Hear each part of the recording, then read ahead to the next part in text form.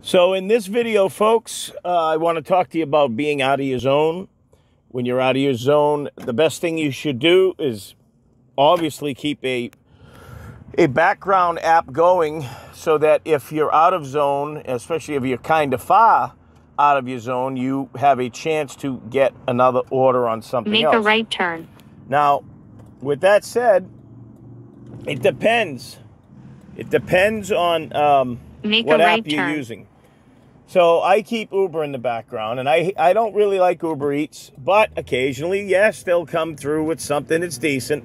So this is one of these cases. Just ahead, make a right turn on Fortune Boulevard. I am on a, a delivery that's you know nine dollars and thirty cents. It could be higher than nine thirty. I, I I'm figuring it might be a few more dollars, maybe a couple more, but Make a That's right not turn why I on did it. Fortune Boulevard. I did it because it was only three miles, going three miles, right? Total. And uh, it's better than just doing dead miles back. Uh, but the order, the last order that I picked up for DoorDash was a 20, it ended up being $23 for 10 miles. So while I'm in this area, of course, I'm going to try to pick up with another app.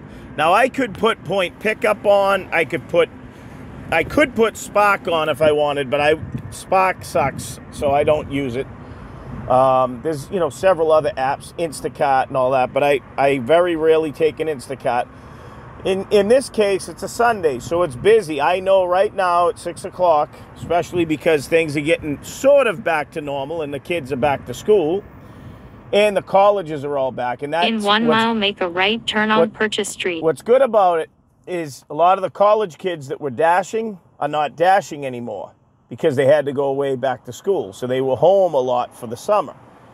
Um, but it also is going to bring in a whole new breed of people, and obviously a lot of these companies are hiring big time. I wanted to just tell you that the store that I came from, that I'm pick, that I picked up from on this delivery, it was TGI Fridays. I don't know if you guys or gals have that out where you are out west or in the Midwest, but on the East Coast we have a, a store that's similar to like Chili's, but it's it's all kinds of different things. It has a bar. It's you know it's a corporate thing. TGI Fr- Fridays. You've all seen that commercial on TV. I was shocked to see the wait staff that they had in there. They had three young girls or whatever that looked sort of inexperienced, one that looked experienced, and then one main server. So that's four. And then I saw one cook. Now, this place was not very busy, but it wasn't, there was a lot, there was quarter to half the people of the capacity that were in there.